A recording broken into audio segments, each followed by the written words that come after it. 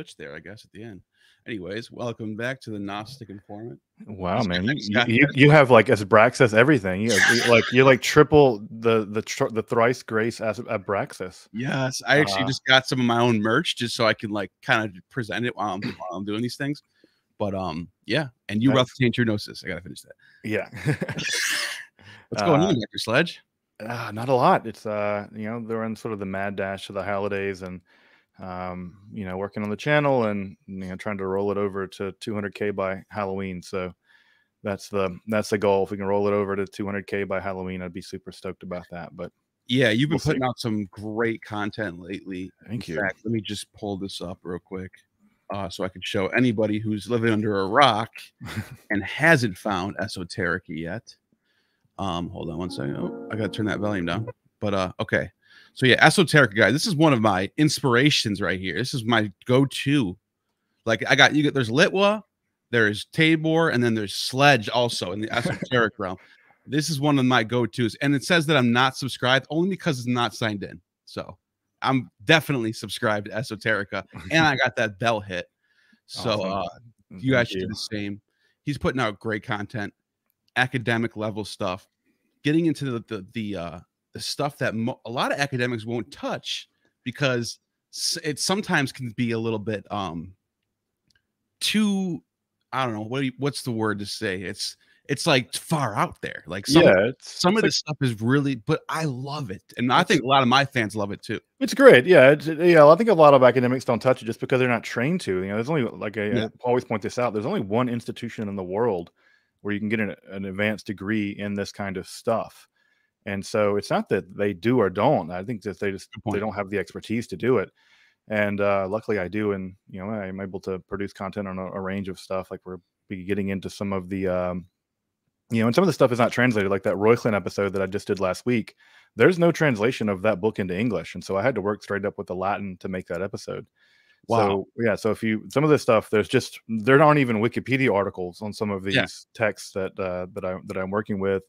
And uh, this this week, I'm doing an episode on uh, some of the theology, the Kabbalistic uh, theology behind uh, the messianism of Shabbatai Tzvi, and uh, that stuff has just gotten republished and only in Hebrew. So you know, a lot of this, some of the stuff I work on, you just can't find um, even translations yeah. of. So it's it's it's fun, but yeah, it's it's not called esoteric for esoterica for nothing. Right, you're not going to get this anywhere else, anywhere else, and you just have so many wide-ranging topics I mean, if you go to your playlist, look at this witchcraft, women in occultism, demonology, Jewish magic. Like that is a topic right there that I want to check out. Hermetic philosophy, occult film review, mysticism, Gnosticism. It's all there, guys. Check it out. Like, seriously, like it's one of my favorite, arguably my favorite channel. Yeah, I appreciate that, man. Thank you so much. I'm glad to be back too. Thank you for inviting me on. Uh, for a fun topic today. Uh, Definitely some Necronomicon stuff. Yeah, I got my my my little yellow copy. Yeah, we saw we compared. We have our, our two different copies. This you know this little evil book, uh, which you can easily get it. You know, Barnes and Noble. right. Um. Yeah. So I mean, why don't you give us a little intro about this thing? A little basic rundown of what it is, what it came from. Is it based on anything? Actually, let me start with this. I, I just thought of something. I put out a post a couple weeks ago because I was starting to read through this for the first time. Well, not the mm-hmm. first time, but to actually read it for the first time, not just like flip through it like I did before. I was actually reading it through, like real, like really reading it.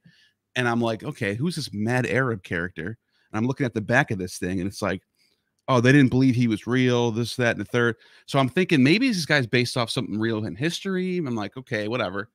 And um, I put put a post up, and you were like, just so you know, he's not real. I was like, oh, I want him to be real so bad. Yeah, that's every everybody wants their everybody wants there to be a Necronomicon. It's just yeah. like the thing. And in fact, people want it so badly they make it up. I mean, that's how badly they want it to be real that they make so it real. So, um, so yeah, it's a funny kind of thing that people conjure into existence. But yeah, it's it's. Um, I mean, so for folks that don't know, the Necronomicon is a literary fiction invented by H.P. Uh, Lovecraft, the early 20th century writer of weird fiction. Um, sort of the progenitor, weird fiction sort of gave rise to like horror and sci fi and kind of the mix of that. If you've ever read about Cthulhu or any of that stuff, uh, if you've ever seen like tentacle monsters from other dimensions, that's sort of weird fiction uh, in the in the guise of, of H.P. Lovecraft. But he invented it as a kind of deceit in his novels, uh, where this uh, tome, which in, in, the in the actual stories of Lovecraft, the Necronomicon is like a, a, thousand pages long. It's a huge, huge volume, much bigger than this little rinky-dink thing.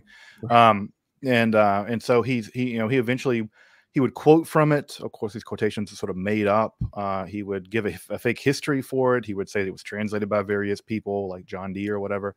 And um, over time, it kind of began to function both in his stories, but also he had a network of friends who would also write these weird tales. They were published in various kinds of pulp fiction back in the day, and they started using him. And so it kind of got a, a life of its own. And eventually, by um, a, a over the course of the of the 20th century, people started making Necronomicons, writing them. Uh, and of course, the most famous one here is the Simon one, and this is the one if you've ever been to like an occult bookshop or Barnes and Noble and gone to the occult section or whatever, they're inevitably going to have this one. And um, this one we can get into sort of how it got written, but it's sort of a mishmash of H.P. Lovecraft stuff, some Aleister Crowley stuff uh, that I know you've had Dr. Angela Puca on to talk about him a little bit, and uh, also uh, some Mesopotamian mythology. So they kind of mishmash it all together and make it into a um, not exactly a workable system of magic. Um, in fact, it was intentionally designed not to be workable, actually, which is kind of interesting but um, as a kind of booby trap, even magical booby trap. But um, for whatever reason, it's captured people's imagination since it was published in the 70s and through the 80s and 90s. It was sort of the if you wanted to be the edgy kid at high school, whatever, you got you a copy of the Necronomicon. And um, but yeah, the Lovecraft uh, had a sort of uh, fake pen name when he was a kid. He really loved the 1001 Arabian Nights and so he had a dream of a guy named Abdul Alhazred, and Alhazred became the the the writer of this uh, Necronomicon text. And so, um, you know, Lovecraft himself conjured it from from dreams and all kinds of things. And some of the quotations in Lovecraft's stories are pretty spooky and terrifying, even. But um, that's basically where it comes from. It's a literary deceit uh, invented by invented by H.P. Lovecraft. Wow. And so, uh, oh, the super chat just popped up. Let's just check it out. Why not? Let's sure. Mika Val, thank you for the super chat. Do you think Mika Val, thank you for the super chat? I said it so fast. Sorry. Do you think the gods and symbols in this book are based on real Mesopotamian lore? That's a great question. So the answer is kind of, um, kind of. So the text purports to be ancient Sumerian, and if you know anything about ancient Sumeria, uh, you'll you'll be you'll be clicked off Im- uh, immediately that this is not Sumerian. There's actually a mishmash of things here. There are Sumerian things, there are Babylonian things, and there are Assyrian things. And of course, anyone who knows anything about the ancient Near East knows that, that that's thousands of years of culture. And so there's a mishmash of of divinities. So, for, for instance, um, I don't know, Pazuzu shows up. Pazuzu mostly a, a Syrian deity. Um, their other like Inanna is actually a Sumer- is actually a Sumerian deity. So you have like all these different Mesopotamian cultures kind of blended together. And this happens sometimes when people don't really don't know their history very well. They'll mix cultures together that actually don't have much to do with each other. The most classic example, if folks have ever seen the movie Apocalypto that Mel Gibson made, he kind of blends together the Aztecs and the Mayans in kind of a composite thing that never really existed. and for and for people who know anything about the Mayans and the Aztecs, you see them like sacrificing people on top of pyramids, but they're clearly like Maya people. They're speaking Maya language. You're like, it's like if you blended the Anglo Saxons and and I don't know, uh, like the Anglo Saxons and and the phalanx Greek soldiers together into one composite weird thing. Anyone who knew anything about Anglo Saxon warriors and Greek warriors would realize something terribly wrong here. And so in the Necronomicon, you get this sort of mixed up grab bag of Mesopotamian stuff. Um, and in fact, they you can even do this if you want. You can go to the actual sources they list on the uh, in the bibliography of this thing, which is uh, on page, and they're all the same, so I can basically give it. Um, yeah, bibliography selected readings. Um, if you go there, they quote Pritchard's um, ancient Mesopotamian text related to the Old Testament. They just steal stuff from there and then wow. mix in H.P. Lovecraft stuff. Um, so that's kind of the way that works. The symbols are straight up not Mesopotamian. Um, if you look at cuneiform magical tablets, of which we have a vast array, no symbols like this appear. These symbols are almost always taken from European magic. And in fact, again, for a book right. that's allegedly Sumerian magic, um, there's just straight up Greek letters everywhere. And yeah. so um, the text can't quite make its mind up. And of course, he says that the, the writer of this, Simon, says that uh, the text was translated from Greek. but it would be really weird if Sumerian Sumerian magic, which we have lots of evidence of, and, and, Babylonian magic, which we have a lot of evidence of, like the Maqlu ritual, um, uh, if that were the case. And this text is a really weird composite mishmash of things. So uh, the symbols certainly not. Some of the rituals kind of, but um, but in a general way, it's just a, a pastiche, I guess I would call it. Um, yeah, and and and these parts where they start going off on this this weird language of Gabara. Is that just gibberish? Is this Lovecraft's own made up language? so some of this stuff actually is Sumerian. So some like you know Zdingir, oh, wow. like that that yeah, Dingir is actually like Sumerian. That is a oh. and they're copying this from from from other texts. So some of this, yes, like some of these words actually are uh, Sumerian. Some of them are uh, some of them are, are Akkadian.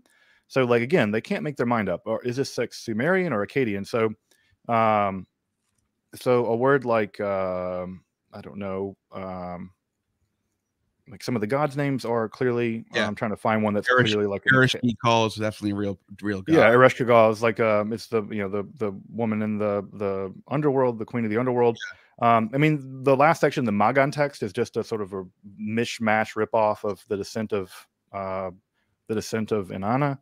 Uh, oh, into right. the underworld, the ascent of Ishtar into the underworld, which is a classic text from the ancient Near East. So they kind of just rip it off. Um, but like a sheep too, like a, a too uh, is a is a Akkadian word. It's not a Sumerian word, uh, and you can always tell because um, Sumerian words are very very short typically, um, as opposed to Akkadian, which Akkadian and Sumerian are not related languages. Akkadian is um, a Semitic language related distantly to Hebrew. In fact, sometimes you can even read Akkadian through a Hebrew lens darkly but Sumerian's a linguistic isolate. We don't know where in the world that language came from, um, and the the word the words there typically are a lot shorter. Uh, so word like in like means house, but it can also mean temple. So those are really the Sumerian words tend to be a lot shorter. But they're just taking these incantations from other texts and sort of manipulating them um, to fit into the text. Like Kashiptu is a good example. Is a that's the Akkadian word for uh, sorceress. Oh wow! or a Pishtu.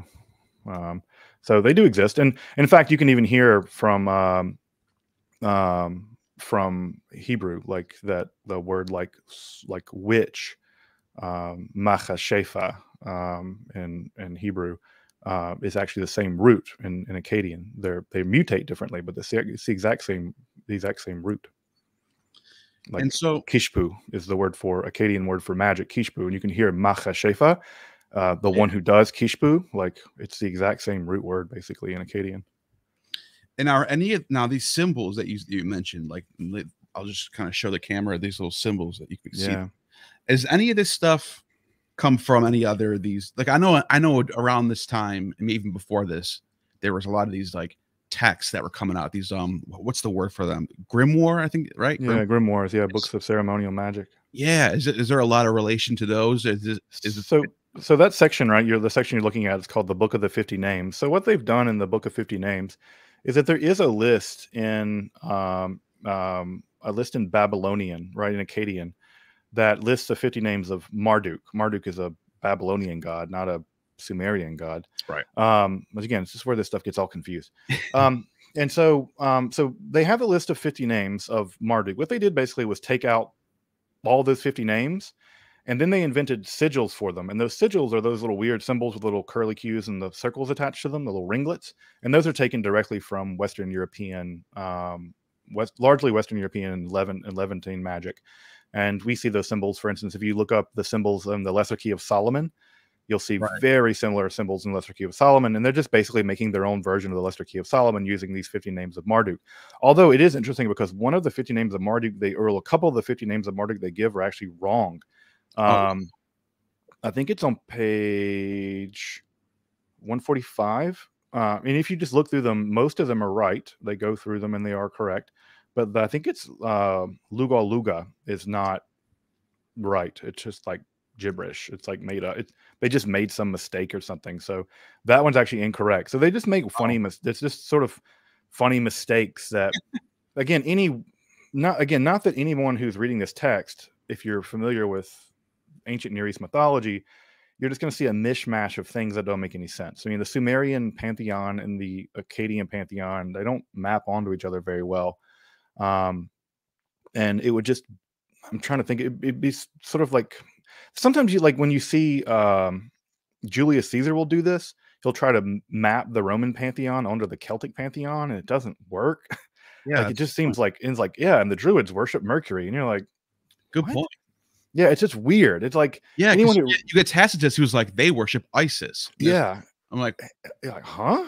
Do they? Do, yeah. do, if you ask a druid, do they worship Isis? Are they going to say that? You're like, who's um, that? yeah, and so it, it's you know, of course, them trying to make sense of the world, but this is an example of someone who clearly has access to um synch like syncret like a syncretic understanding of Mesopotamian mythology but because they have the entire mythology in front in front of them, they don't know where to draw the line between what is Sumerian, what's Akkadian, what's Assyrian, what's Greek, and so you get this really mishmash text. Wow, that's a good point. Thank you for that super chat, uh, yeah.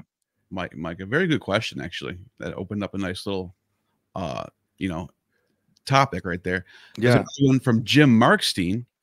What was the direct impact of this book on the culture, and how did the church react? Ooh, this is so you mean this book here, the the Simon Necronomicon?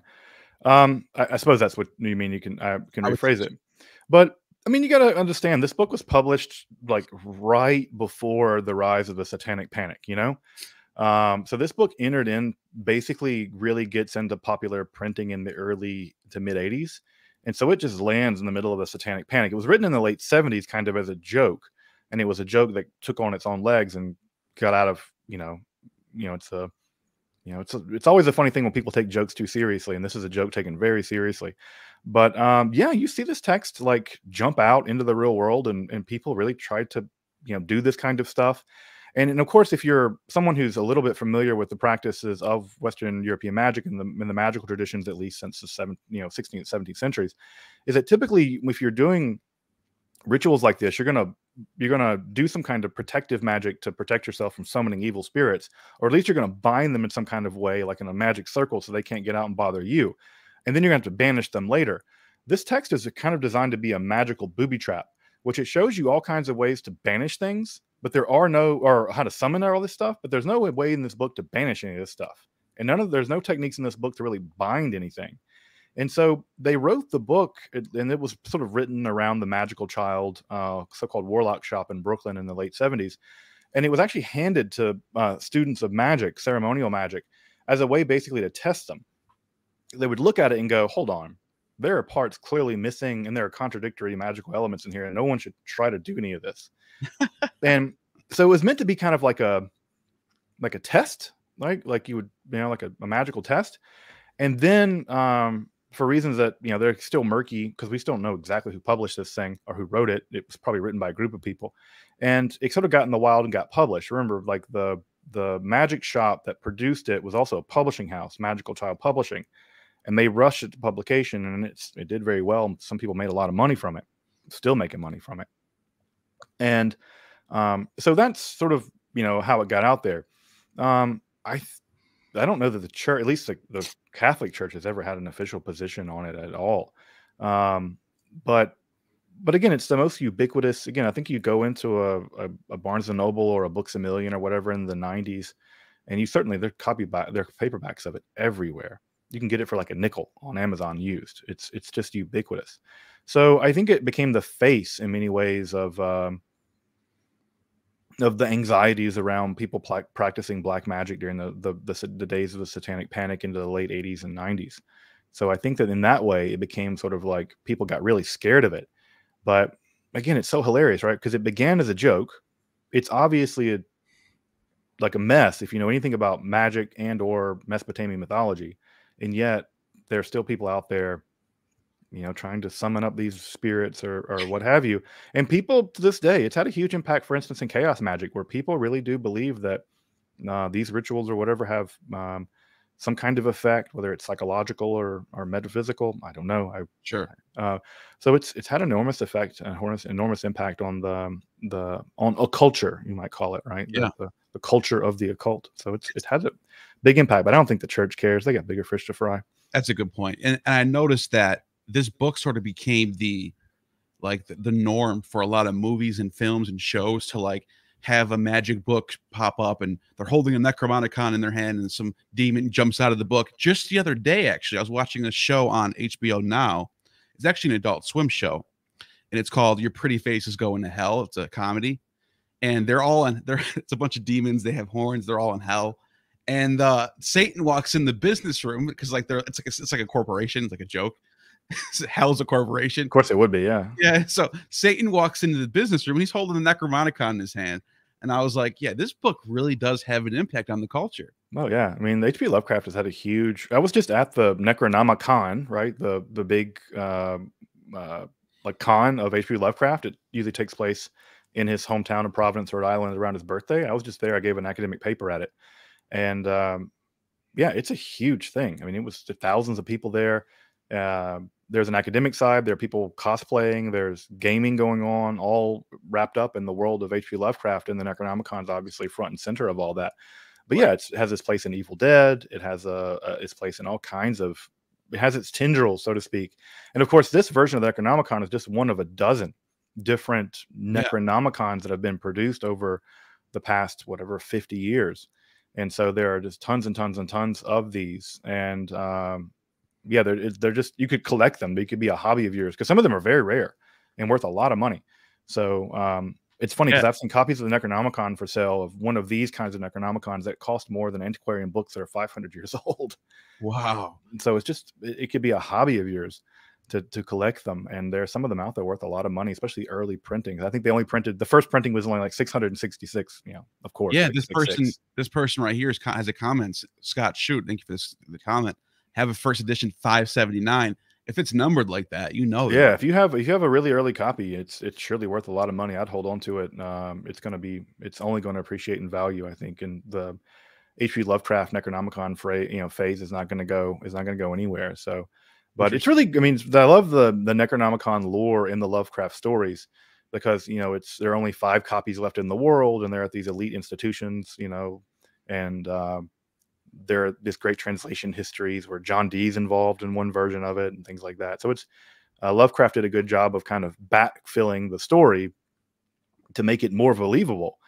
And I think also just there's just a part of us that loves the idea of like ancient evil books that you know the I always say the Venn diagram of people who are interested in like the occult or the esoteric and people who like old books are like a circle. That's just one circle of people. And I think all of us like the idea that there are these ancient books containing unspeakable things or what have you.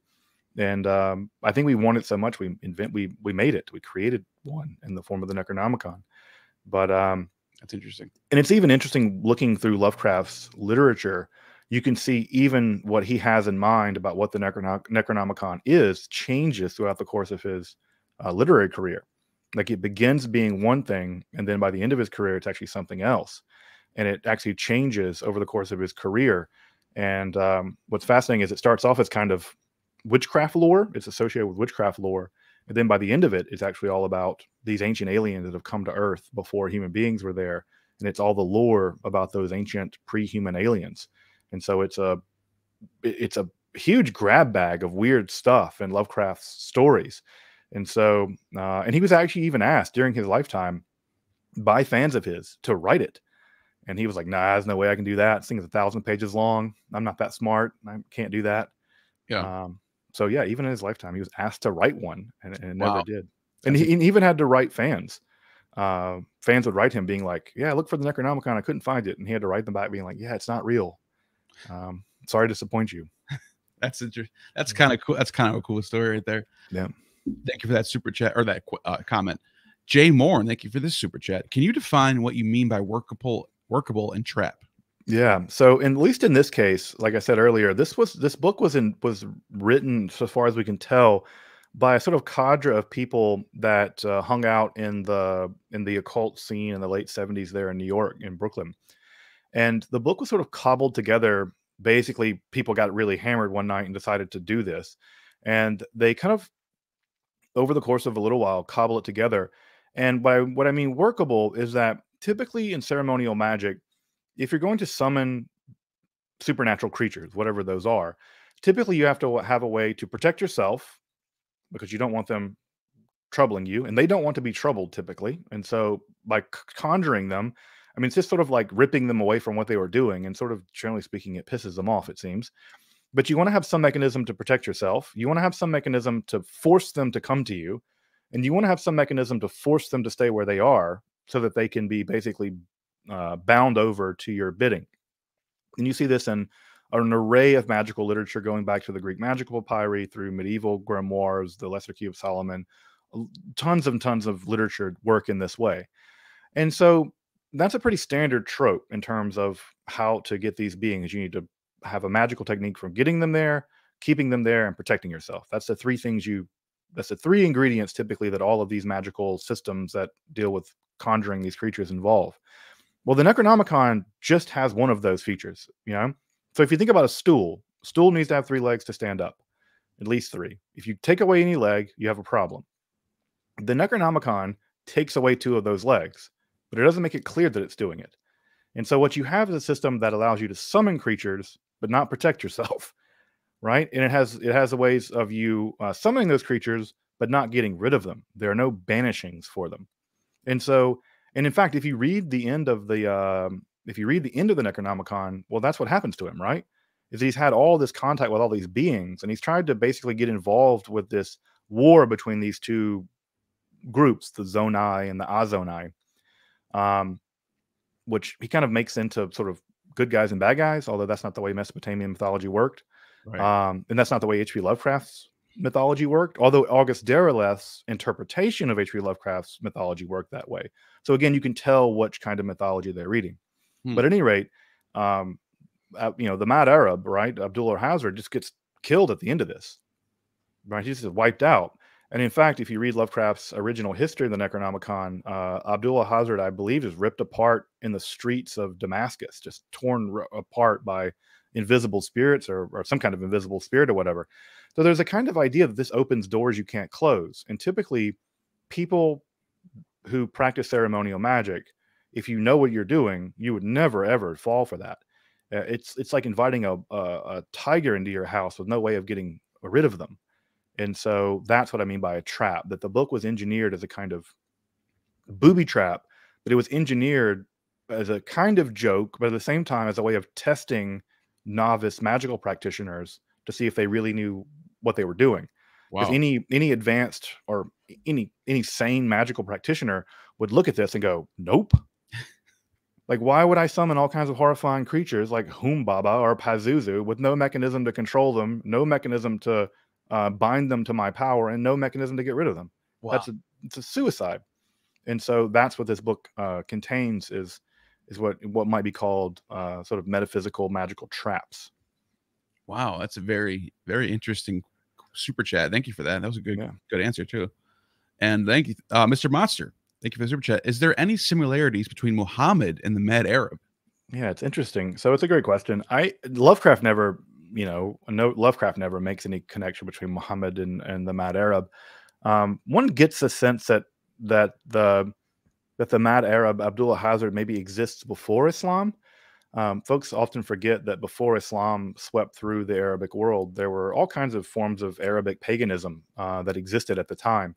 In fact, we have some survivals of that pre-Islamic paganism in a book called The Nabatean uh, Agriculture, even Maimonides mentions that there were still some of these even after Islam called the Sabaeans, and the uh, the Quran even mentions the Sabaeans as sort of strange monotheists that aren't Jews and aren't Christians or something else. Maybe they were Mandeans. We're not sure. Right. Um, the Mandeans claim they're Sabaeans mostly to protect themselves, and sadly, they've been the victim of uh, horrifying persecution for many centuries. But yeah, I don't think so. I think that the idea is that the mad Arab Abdul Hazard sort of is maybe a pre-Islamic uh, pagan and is part of that pre-Islamic pagan world. Or maybe even if it, Islam has come, he lives he maybe lives at the fringes of society, and he certainly isn't a Muslim. Um, he certainly isn't a Muslim. He's dealing with paganism and summoning all kinds of ancient gods and stuff like that. And there's no mention of Allah. Uh, and I think it just has a lot to do with one with Lovecraft's own fascination with the Thousand and One Arabian Nights. Yeah, that's where, and I think it has a lot to do with that. But also, this is a common trope in European imag- the European imagination is if you want to have something weird, make it happen in Egypt or happen in Arabia, and Um, you know, it's sort of a the East is weird, and so it's that kind of trope. But no, I don't think there's any connection between the Prophet Muhammad and Abdul Alhazred. Yeah, In fact, Al Hazred is not even an Arabic name. Like, there's no name like that. It's just like made uh, Abdul's a real name, right? But Al Hazred is not even a word. It's just literally. There's a lot of guesses about how uh, Lovecraft made this up, but apparently he heard it in a dream, one of his dreams he had when he was a kid, um, and he kind of went by it, and then eventually uh, transferred the name from him to uh, to the to the writer of the, the Necronomicon. And not not to get too far off topic, but you mentioned the 1001 Nights and I there's a text, there's a there's a story in there. Eh, I love this story. Everybody should go and check it out. But they talk about they found this ruin of a city that Solomon had built. Yeah, the city of brass. City of brass. Yeah, yeah it's a great story. Riches and these maps, and they found like all these like you know interesting technological advancements and jewels and all this type of stuff. And they found and, and then in there the weirdest thing ever. They found a a book of Psalms it's in like an ancient Greek dialect. This is what the writer says. And it's like I forgot what they said. I think it's like Ionian characters or something like that. Something, yeah. something like that. I can't remember, but I'm just I'm just reading this thing. I was like, this is such a good story. It's such a great story. Yeah, that's a that's the most famous one, I think. In fact, Lovecraft even um Lovecraft even kind of based some of his stories on that. There's a city in Lovecraft that he calls Irem, the city of the pillars. And there's a story in Arabic lore about the city of pillars. It's sort of like a Islamic or a pre-Islamic version of Atlantis. It was a very powerful city and da da da da da, but it became cursed and the sand swallowed it up. Now it's the city of pillars is now swallowed beneath the sands, and so it's sort of like the Arabic uh, Atlantis story. But um, but yeah, Lovecraft borrowed some of those elements, and they become so this the city of Irem or the city of pillars in uh, Lovecraft stories. But yeah, the brass, the city of brass is definitely I think a real one of the best stories, especially if you like you know Atlantis type stuff. It's great. Yeah, it's yeah. It's really really fascinating stuff. Uh, thank you for that. Jim Markstein is with back with another one. Did Lovecraft write any other books that relate to this, a sequel or a prequel? So, I guess what maybe maybe maybe you mean like did he write are there books older than the Necronomicon in Lovecraft's lore? Yes, that's yeah. So this uh, the Lovecraft the the Necronomicon is the most famous and it's the most frequently cited and I think it was written in the 800s, 700s, I think, uh, according to Lovecraft, something like that. Um, and then translated to Greek, and then translated to uh, Latin, and translated to English. Uh, but uh, um, there's another text called the Pnakotic manuscripts that Lovecraft talks about. That's actually older than Necronomicon. It's actually written, it's lore written down even before human beings came into existence. It's like pre-human lore.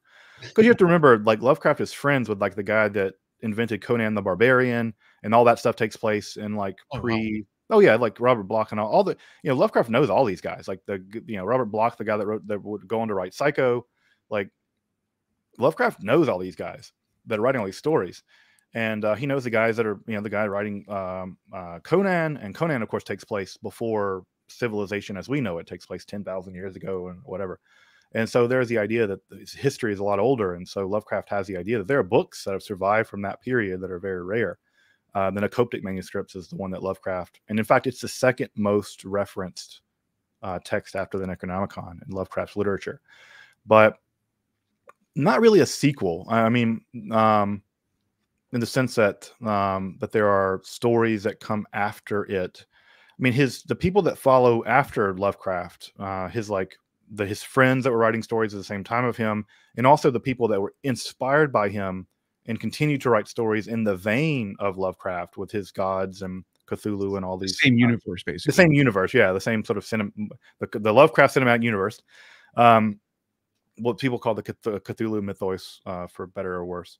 But um, yeah, people continue to add chunks to the Necronomicon. They continue to add quotations from it and and things like that. In fact, there are uh, um, one of the early versions of the Necronomicon that you could buy is just a collection of all those references, and it would just be sort of all the things that anyone quoted from the Necronomicon. The most famous example is the what is it called? The dreaded couplet: uh, "That which is dead can never, that which is dead can never lie, and in strange eons even death will die." That's another famous line from the uh, from the Necronomicon that nice. Lovecraft has. So, um, so uh, which is funny because that becomes the uh, the the words of the house of what are they called in Game of Thrones? The seafaring people. Oh yeah, that's the um the oh my god, I just did a video on this. Yeah, The uh the Iron the King uh I what is it? Iron No, Iron Yeah. Islands is the name of the place. yeah. What is the? I can't remember. Yeah, It's okay. so many years. So the, but at any rate, that that their words, right? For their they they live they believe in the the, the drowned god, and Drowned they say God. Like a whole right, video about this thing. Yeah, the drowned god, and like you know that which is dead can never die. Blah blah blah. They take that straight from Lovecraft. Yes.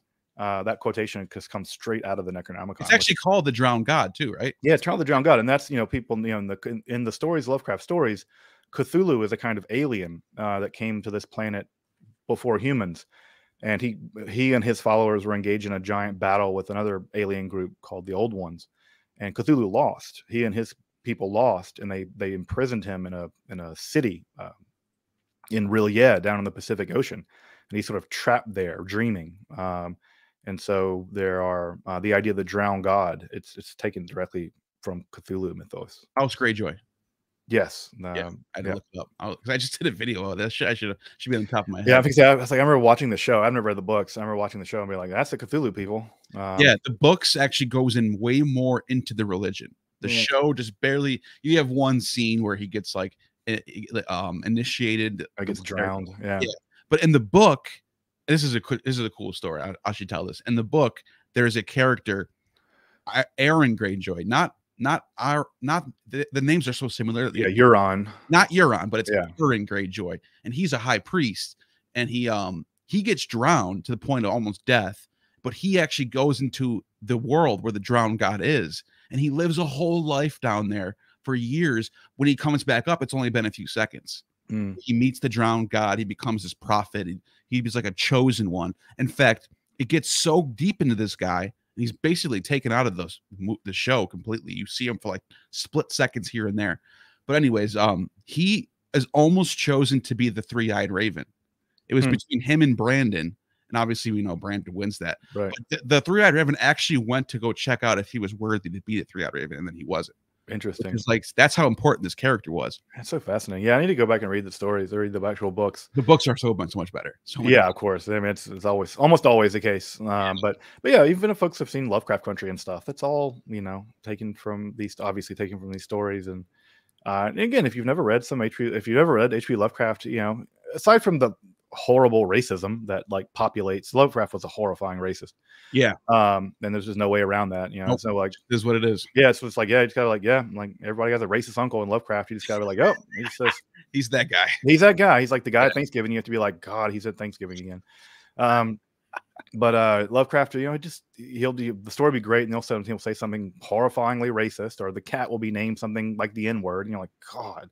Right. Um, so you have to just deal with that and just deal with the fact that you know you can deal with two contradictory truths, right? One is the guy wrote cool stories and they're influential, and the other he's kind of a dirtbag. Yeah. And um, so is Aristotle. Aristotle also believed that some people were born naturally to be slaves. right. Am I gonna? Oh yeah. Like if I'm gonna, am I gonna throw in women? All of women, according to Aristotle, are just naturally slaves. And am I gonna throw Aristotle out because he said gross misogynistic stuff? Or no? right.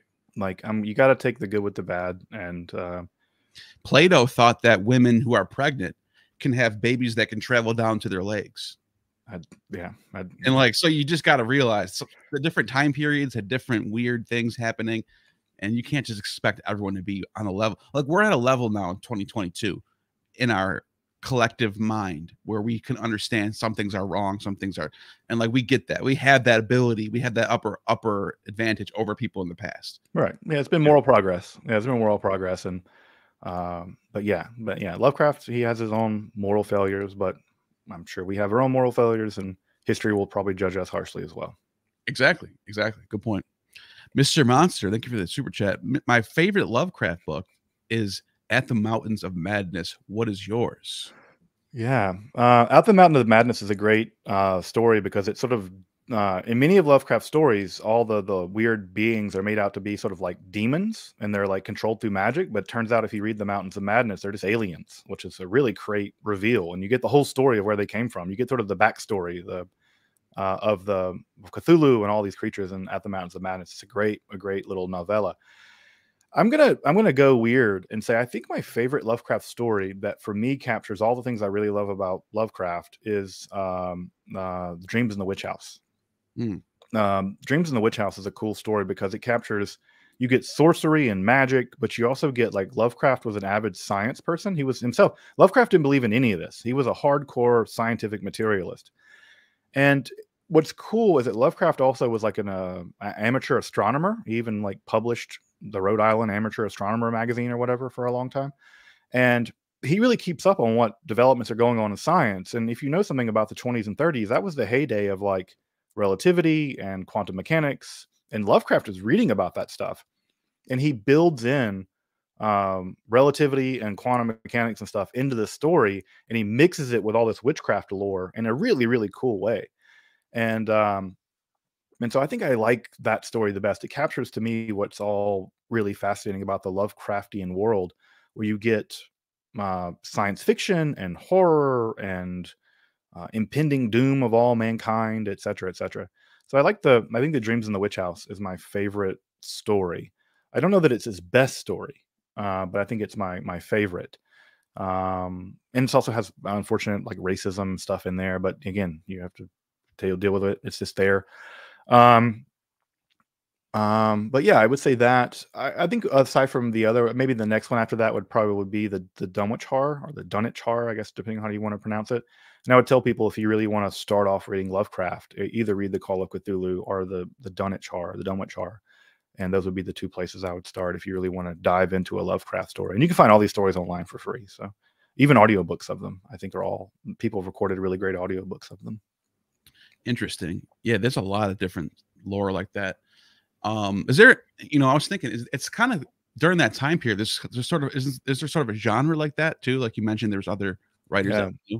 Yeah, weird literature. Yeah, it was a huge. It was it was considered pulp fiction. That's where we get the name pulp fiction, right? It was books that were reprinted on the crappiest possible paper. Oh wow! Um, and uh, because they were cheap, like a nickel or something, they were you know, and they would be you get five or six stories, and they would be you know, and they were like some of them were really crazily hilarious, like the brains from Pluto or something. It would be like classic weirdo science fiction, and um, but yeah, Lovecraft published in uh, Weird Tales and other kinds of books like that. And this is also again where Conan and stuff was originally published and um, things like this. And so it was a kind of genre of literature. And Lovecraft actually didn't do well in it. Uh, his stories are often rejected because they were too long or written in such a weird way. And he writes in a very strange, idiosyncratic way. And so they were often rejected. Lovecraft didn't do very well, although he met and corresponded with all kinds of people. I mentioned Robert Bloch, the guy that eventually would write Psycho.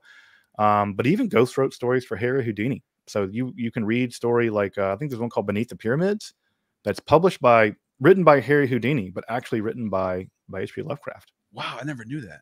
Yeah, so it's it's he again he was that's another life story that's pretty amazing. Houdini. Yeah, Houdini is great. I love Houdini. Uh, he died here in Detroit. Oh, wow. uh, the the the the funeral home that stored his body before it was shipped back is now an abandoned building, and I would I keep telling investors someone needs to buy that, turn it into a cocktail bar called the Houdini. You can make you can make bank. It's just it sells itself.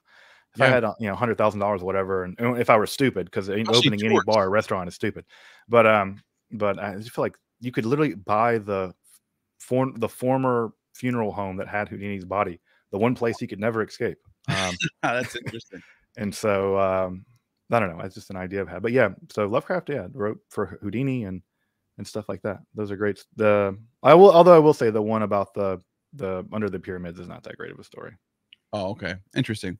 But, Kesha White, thank you for the super chat. Did a meteorite land in Arabia and get placed in the Kaaba? That's the going theory. Uh, that's that's that I've heard. The black stone is a meteorite. Um, uh, oh, that's that's that's what I've heard. I mean, that's what I've read. I don't know that there anyone has ever done any like hardcore geological testing of the the black stone and the Kaaba, uh, just for lots of reasons. I, I don't think that Saudi government's going to let that happen anytime soon. But um, but yeah, folks know this uh, on the side of the Kaaba, uh, the big uh, uh, rectangle or uh, square building that the Muslim folks circumambulate during Hajj. There's a big black stone uh, encased in silver. It's rubbed. It's rubbed smooth now from lots of pilgrims touching it. But the good idea, the the going idea is it's probably a, a meteoric stone that landed in of course, I mean, if I were a person living in pre-modern times and I saw a rock fall out of the sky, I'd be like, that's magic. Which happens. Um, does happen. It does happen. Of course, you know, what's even cooler is if you go to the Egyptian Museum in Cairo, you can see one of King Tut's uh, daggers, and it's actually made out of meteoric iron, which wow. uh, it's. I mean, can you imagine? It's, it's one. It's cool thing just to have a dagger, but can you have imagine having a dagger literally from made space. from space from space steel? That's uh, like I'm like whatever kind of whatever kind of cool dagger you have, you don't have a cool dagger than space dagger.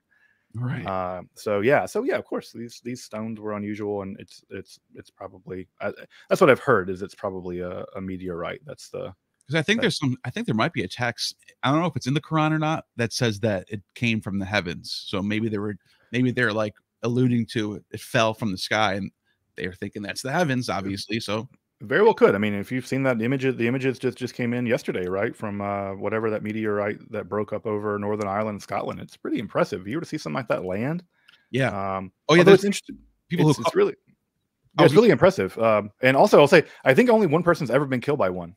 Oh, um, I think it was a woman in Alabama, I believe. Wow. You can look this up, but all, I think we only have one recorded instance of a meteor actually striking someone and killing them. Um, yeah. um, which I'm surprised that anyone's ever been killed by one, considering that they're you know so rare, blah blah blah. But I think it's been the case that just one person has ever been killed by a, a meteorite strike. Uh, what a weird way to go. Yeah, I, I some of them some of them get caught on camera. I just found one from Russia. Maybe I could just play this real quick, and if it gets if it gets oh, the, the, happy birthday to you. Can I mute this? Or why is the cake? Okay, let me see. Sorry because about that. Because she's his life. All right, there we go. I muted it. All right. So this is from stupid ads. I always have to get ads, but uh, who cares? Yeah, Another ad, of course. Yeah, you got you got to get uh you got to get you get the ad blocker. Yeah. yeah, the ad blocker. Wow, this is a long ad too. What's going on with this? Hey, at least we get to look at uh, Alice Cooper. Right, right. Could be worse. Okay, um, now we got it. Yeah, this is the minutes long. Okay, let me just skip ahead. See, look at that thing. Imagine seeing that in the sky. Look at that. Yeah, you can hear it too. I mean, it's like really shook window. It broke windows and stuff.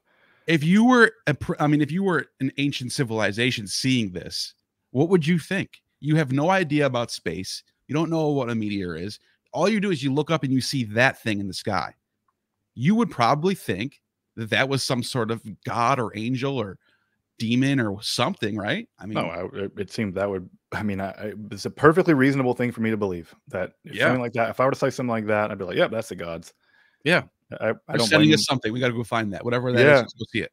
So yeah, I, I, suspect that it may have been a meteorite. Also, meteorites are much easier to find in the desert.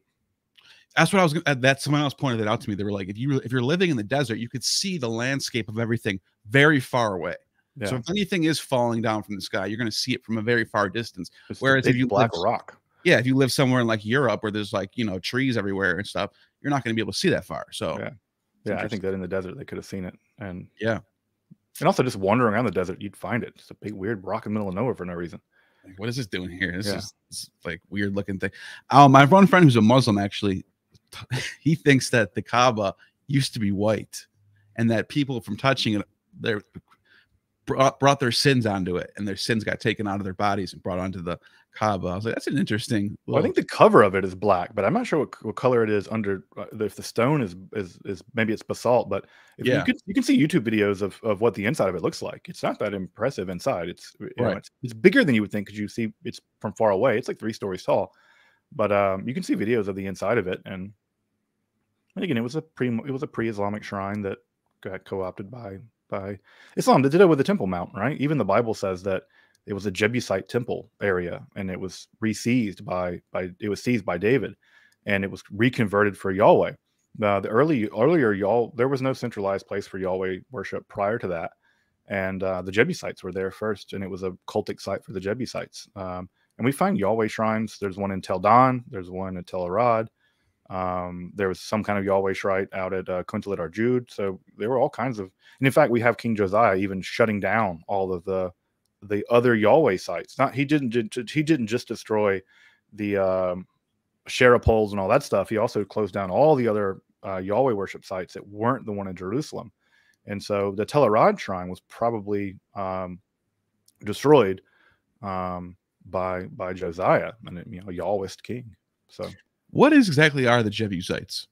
it's one of these cannot Canaanite peoples that existed sure. there. You know, there's I don't think we know much about them, but um, but yeah, the Bible certainly has a memory of them being there, and yeah, you know, they're you know they're the Moabites and Jebusites, and there's all kinds of peoples living down there.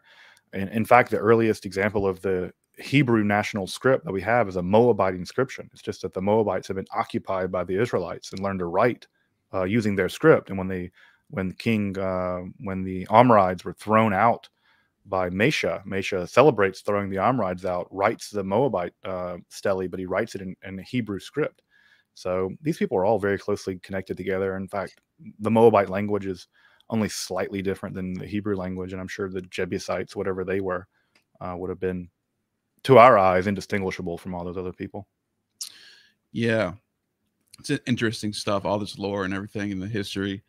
Um, so back, I guess we can go back to the uh, the Necronomicon. Um, I'm trying to think of another, another thing I want to ask you about this. Did did this thing was this thing like ex- extremely popular right away, or did it, did it sort of have a period where nobody knew about it?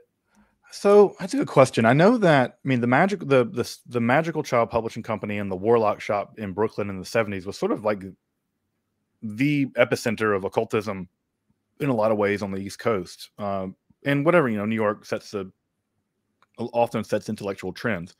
So it was like one of the places if you wanted to study the occult or whatever, where you wanted to go. And I think the guy that owned it, whose name is escaping me now, was sort of an occult superstar.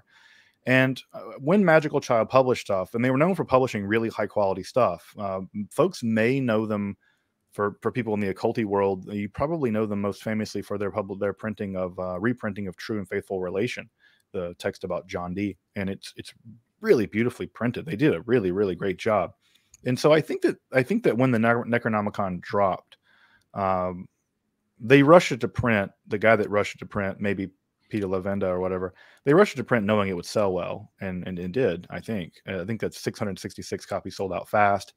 I think they did another hardcover run of a thousand, and then it went to Avon Publishers, and I think it's been in, in it's been in reprint ever since. So um, yeah, I think they knew it would, it would do well, and it has done well. Wow. Um, I mean, this is just such a it's it's just in its own category. I feel like so it's like um, it's just one of those things that like there's very few pieces of literature or like the Bible, for example, or some you know the Quran is all. These, obviously those are religious texts, but like there's very few things that you can point to in history that just stand in its own category. This is one of those things. I feel like. Yeah, it's it's a, a again, it's one of these books that was so good that it had to be invented and not just invented, but invented 12 times. I don't know how many times they people have made Necronomicons. Um, and there are sequels to this book, by the way. Like this book has like three sequels. There's the Necronomicon spells and Simon Speaks. I think there's even lectures, like cassette recorded lectures from the early 80s, mid 80s wow. of the guy that that compiled and wrote this, Simon, giving lectures about this, and they're all a mess. I've heard some of them before, and there he just makes all kinds of crazy errors about all kinds of stuff. Um, um, but yeah, it's it, it, it's it spawned its own cottage industry, so much so that uh, there were occultists like Ke- uh, Kenneth Grant that really Kenneth Grant was one of the disciples of Aleister Crowley, and Kenneth Grant really did believe that Aleister, uh, Aleister Crowley that, that that Lovecraft in his dream life did tap into uh, another another reality, and that these entities that he dreamed up were really real at some level. Now, Kenneth Grant's a squirrely guy, and so it's always difficult to know exactly what he means. But there are people who do believe that Lovecraft made contact with other kinds of entities, and these entities described in Lovecraft's books are real at some level. Um, that he con- that he made contact through them with his dream life, and despite the fact that he himself was a materialist scientist person, he still his unconscious mind was was in contact with these things, and that the Necronomicon is also um, sort of a another bridge to them, and the, the magic in here is effective. Um, you listen to chaos magicians, other people that work with this stuff, they say it, it's effective, and there, there's a there's a love magic spell in here. In fact, I just mentioned this on my channel the other day. Um, there's a love magic spell in here that has to do with taking the juice of an apple and uh, saying some magic words over it, and then giving it to whoever you want to fall in love with you, and I'll fall in love with you, I guess. Whatever that kind of love is. Um, nice. But uh, but he said he tried it when he was 16 and it worked. So Interesting. I don't know. I'm I'm you know me. I'm I'm pretty skeptical of this kind of thing. Right, right. Um, it's still fun to talk about. It's, it's, it's super fun and it has a great history, you know. And it's also just fun to look at it as a, like a like again like the boundary between what is a joke and what is fraud and what is a text that we make up and people come to believe in you know like where are the boundaries of those kinds of things like the book of mormon like where are the boundaries of a text that's clearly invented by somebody and also clearly meant to be taken seriously but also clear fraud? Um i mean the hebrew bible we can clearly see in the bible where they're they either they're they're, they're lying or making things up or bending history to their own narrative. And it's just interesting sort of what becomes history and what becomes uh, what becomes you know what becomes truth. Right. and truth often transcends what really happens right? Uh, people interested in the truth often don't let uh, pesky things like facts get in the way of the matter. Yeah yeah. This is an interesting comment from rat king. There's a theory that lovecraft tolkien and robert howard were friends or pen pals and they had either been using magic mushrooms or dmt no, I, I mean, I, I know that Lovecraft and Howard were were pen pals, or they they had correspondence. Tolkien, I don't think so. Tolkien wouldn't have had anything to do with. Are they from the same time period though? Yeah, yeah, correct? roughly. Yeah, I think Tolkien's a little later. Um, the generation, maybe a half a generation later, but uh, no, Lovecraft was a teetotaler. He wouldn't even drink alcohol. Oh wow! Like, oh, he was like hardcore about temperance. He wrote uh, articles about how great it, you know, how great temperance was, and alcohol was the devil, and you know, no matter what you think about alcohol. Uh, but um, Lovecraft was all about prohibition. He thought it was the best idea ever. So he was a total, he was a teetotaler. So I don't think uh, you couldn't get Lovecraft to, to drink a beer, much less, to, you know, smoke DMT or right. do magic mushrooms. So I think there's no, I think there's not a snowflake's chance in hell you're going to get uh, Lovecraft to, to take shrooms. Uh, I think, like I said, I think he wouldn't drink a glass of wine and DMT is sort of a, especially, I mean, I mean, not like other parts of the world where like South America, I know they do it for a long time, but I think it's kind of modern as far yeah, as yeah, you have to synthesize it chemically. You, I mean, yeah. ayahuasca, you could, you even ayahuasca, it's pretty difficult to prepare. You have to have both the uh, MAO inhibitor, yeah, an inhibitor in and the actual thing, and you have to cook them down or whatever. Yeah, no, Lovecraft didn't have any access to anything like that, and certainly, I mean, I'm sure he had access to magic mushrooms as much as anyone does near whatever cow pasture, but uh, no, I like I said, he wouldn't. He he'd blush at the idea of having a glass of wine with dinner, much less like tripping yeah. balls and seeing Cthulhu or whatever. It's definitely definitely an interesting comment, though. Yeah, it's yeah, it's interesting. Again, I always joke about this uh, in my channel. There's, there's always a DMT guy in the comments. There's always yeah. someone. There's always someone in the comments who says, no matter what it is, Gnosticism, DMT. this, that, magic, they're like it's DMT. Right. It's like it's like the one stop shop to explain anything watch, Watching too much Joe Rogan. Yeah, it's like it's the Joe Rogan hypothesis. Uh, yeah, it's, it's, like uh, it's DMT, and I'm like, I don't think it's DMT, guys. Yeah, um, I think Lovecraft just had a weird imagination and had a weird dream life, and uh, was able to capture that and put it into spooky stories. I think it's as simple yeah, as he's that. one of those rare minds that just give us give us great stuff, even though he has a dark side that is just irre- irrepressible. Like it's just irredeemable. Yeah, yeah, yeah. And it's you know he still he still gave us this. So yeah, it's a great stories. Yeah, and, and again, I've walked around. I've done the walking tour where he wrote a lot of his stories and based a lot of them. And you walk around, and it's just like the most beautiful neighborhood you can imagine. And you're like, what the hell, spooky about this? I mean, yeah. Maybe it was scarier back then somehow, but he lived in like the most affluent part of Providence. He lived right near Brown, and um, man, um, yeah, and he turned just everyday things. Man, he was just he was a he was a person who was deeply afraid of reality. He he was a he was a sickly guy, and the outside world terrified him. Uh, and he translated that terror of immigrants or terror of whatever into spooky stories. Wow, that's interesting. Well, I know you said you only had an hour. You have to go. You know, dear, dear, uh, you got stuff to do. So, um, yeah. thank you for your time. And uh, yeah, of course, we'll do this again soon. Yeah, yeah, absolutely. Yeah, Neil. Um, yeah, great to hang out and take some questions and again, talk about the Necronomicon is always fun. And definitely go subscribe to Justin Sledge Esoterica. Links in the description, and you've just attained true gnosis.